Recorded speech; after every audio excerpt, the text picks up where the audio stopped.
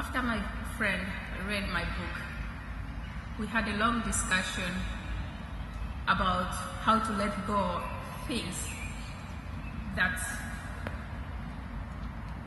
brought bad history to others and how to let go of the bad history.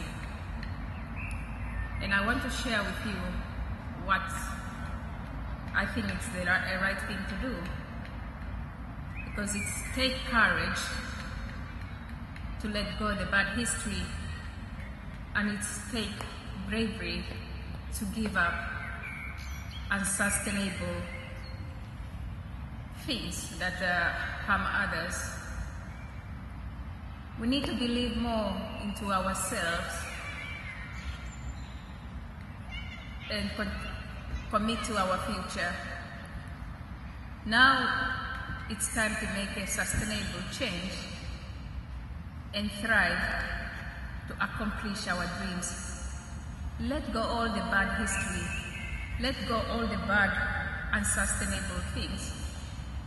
Let's increase love, equality, forgive one another, and stop fighting. Thank you.